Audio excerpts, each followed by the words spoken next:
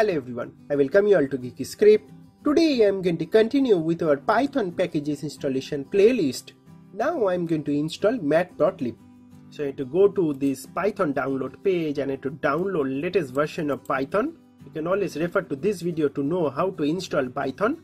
Once you have Python installed, you can just simply go to your command prompt and here if you just simply type python space dash dash version and hit enter. So that's going to show you your python version. If you are getting this type of prompt then all that basically means is you have successfully installed python on your system. Next thing that you need to do is, is to check your pip version. So just simply type pip index version pip. Hit enter. So that's going to show you list of all the available version of pip. But the most important part is to check the installed version and the latest version of pip so the installed version is also 25.2 and latest version is also 25.2 so i have latest version of pip.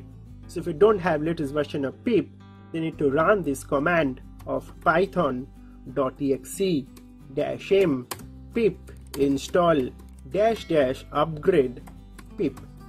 Hit enter. So in my case, requirement is already satisfied because I already have latest version of pip. In your case, it might require to download and upgrade your pip. So once you have latest version of Python and latest version of pip, now it's time to install any Python package. So let's first clear our screen. And now let's proceed installing our matplotlib. So for that, you need to just simply type python space dash m pip install matplotlib. Hit enter. So that's going to immediately start installing our matplotlib. You need to have active internet connection for this. And there you go. So you can see that our matplotlib is rightly installed. So let's verify it. So close this command prompt and go to search and let's open our Python idle shell. Open that.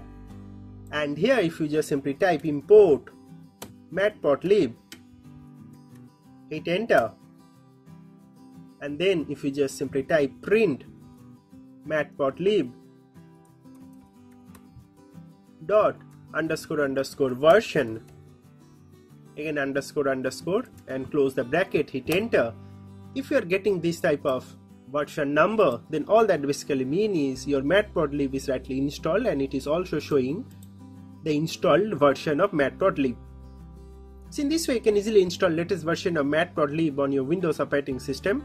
Please do follow our cool Python project playlist so all these videos are completely free along with detailed source code also you are going to get on our official geekyscript.com website. So do check out our other Python videos. I am sure you are going to love them.